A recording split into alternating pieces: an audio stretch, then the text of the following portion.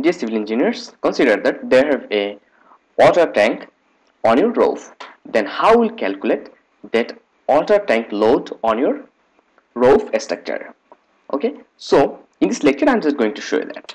So to do that suppose this is a water tank. Now they have different types of tank available in market. Okay now in this lecture i'll consider that. Okay and before that uh, we have to know one thing that what is the unit weight of water so unit weight of water is 998 kg per cubic meter. So we can consider 1000 kg per cubic meter.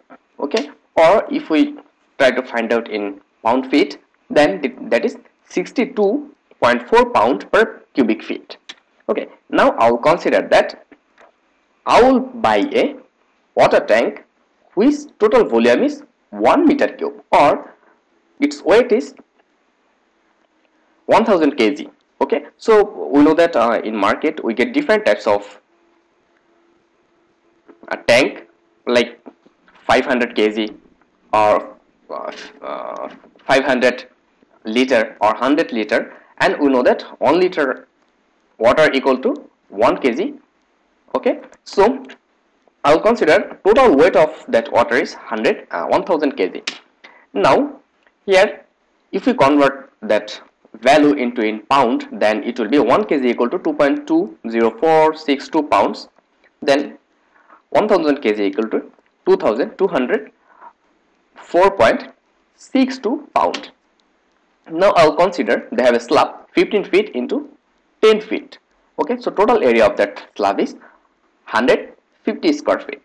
And uh, I'll consider that on that slab our that water tank are available now what will be the unit weight here? Okay so unit load on roof slab that will be will divide it total load divided by total area.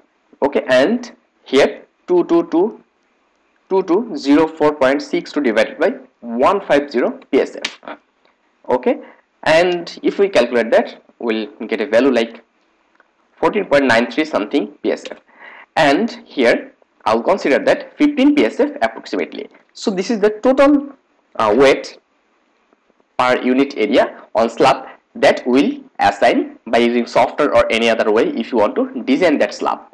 So this is the way to find out the water load on our slab. So thank you. Thank you very much. Stay, stay connected to next video. And if you think that the channel is helpful for you then many basic civil engineering related video are given in description. So i'll request you you can watch our previous lecture and also in this channel we try to show different types of civil engineering knowledgeable video.